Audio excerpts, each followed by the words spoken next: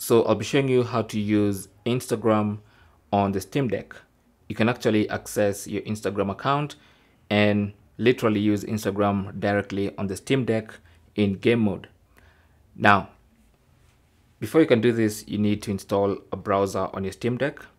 And I've linked a video down below in the description showing you the step-by-step -step process of installing a browser, uh, which you have to do in desktop mode, and then making that browser available in game mode on your Steam Deck.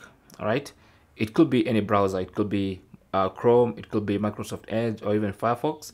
But in that tutorial, I'm using or I'm showing you how to install Chrome and make it available in game mode on your Steam Deck. All right.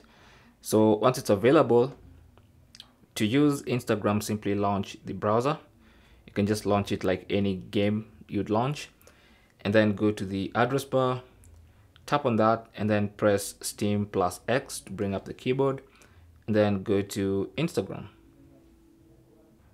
You can either type in the full URL, instagram.com, or just do a quick Google search. But for me, I'm gonna go ahead and type the full URL and then hit enter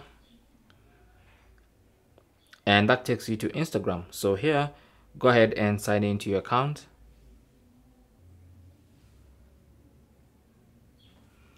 and once you're signed in you can either save the password or not. Uh, I'll select not now.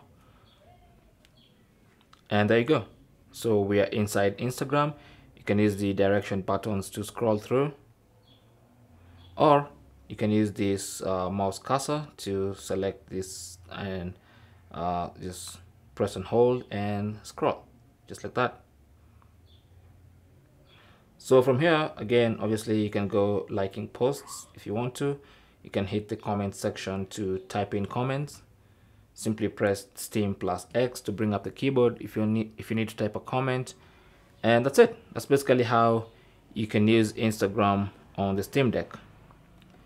Thanks for watching. Leave your comments and questions down below and good luck